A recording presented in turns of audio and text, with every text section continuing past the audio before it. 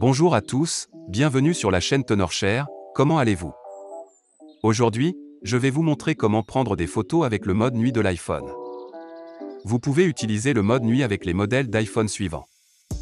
Lorsque vous êtes dans un environnement sombre, l'utilisation du mode nuit photo de l'iPhone pour prendre des photos peut rendre vos photos plus claires et plus lumineuses.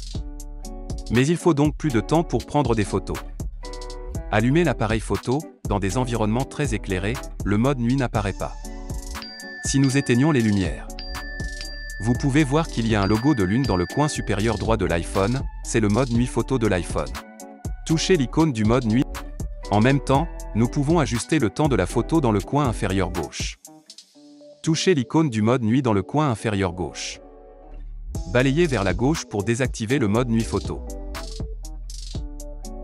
Balayez vers la droite pour régler le temps nécessaire à la prise d'une photo en mode nuit de l'iPhone. L'iPhone a besoin de suffisamment de temps pour capter la lumière. Nous ajustons à 3 secondes et prenons une photo. Lorsque vous prenez la photo, le curseur compte à rebours jusqu'à la fin de la prise de vue. À ce stade, nous devons maintenir le téléphone en place et nous vous recommandons d'utiliser un trépied pour plus de stabilité et de contrôle de la clarté d'exposition. Puis régler pour désactiver le mode nuit iPhone. Prendre une autre photo.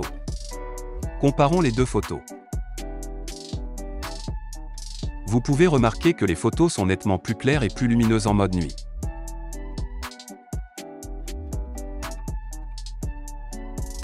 Lorsque nous rallumons la lumière, le mode nuit de l'iPhone se désactive automatiquement.